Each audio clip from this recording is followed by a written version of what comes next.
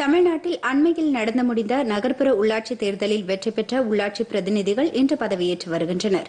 சென்னை திருச்சி சேலம் மதுரை நெல்லை உள்ளிட்ட இருபத்தி ஒரு மாநகராட்சிகள் நூற்று முப்பத்தி எட்டு நகராட்சிகள் நானூற்று எண்பத்தி ஒன்பது பேரூராட்சிகளுக்கும் என அறுநூற்று நாற்பத்தி எட்டு உள்ளாட்சி அமைப்புகளுக்கு கடந்த மாதம் பத்தொன்பதாம் தேதி வாக்குப்பதிவு நடத்தப்பட்டது.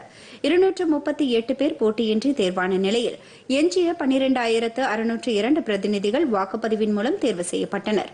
புதிய நகர்ப்புற உள்ளாட்சி பிரதிநிதிகள் இன்று பதவி ஏற்பதால் அதற்கான அனைத்து ஏற்பாடுகளும் செய்யப்பட்டு மாநகராட்சிகள் நகராட்சிகள் பேரூராட்சிகளில் பதவியேற்று வருகின்றனர். மாநகராட்சி நகராட்சிகளில் ஆணையர்கள் பதவி பிரமாணம் செய்து வைக்கின்றனர். பதவியேற்பினை தொடர்ந்து மறைமுக தேர்தல் நடைபெறுவதால் சட்டம் ஒழுங்கை பராமரிக்க தேவையான அனைத்து ஏற்பாடுகளும் செய்யப்பட்டுள்ளன. வரும் நான்காம் தேதி மாநகராட்சி மேயர் துணை மேயர் நகர்மன்ற தலைவர் துணைத் தலைவர் மற்றும் பேரூராட்சி தலைவர் உள்ளிட்ட பதவிகளுக்கு மறைமுக தேர்தல் நடைபெறும்.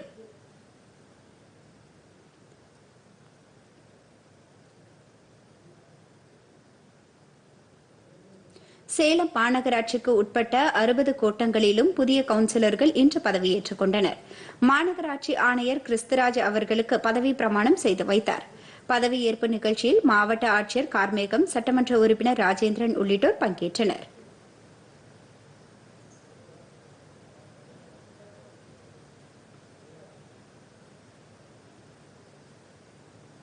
ஈரோடு மாவட்டத்தில் மாநகராட்சிக்கு உட்பட்ட வார்டுகளில் வெற்றி பெற்ற எழுநூற்று தொன்னூறு கவுன்சிலர்கள் இன்று பதவியேற்றுக் கொண்டனர்.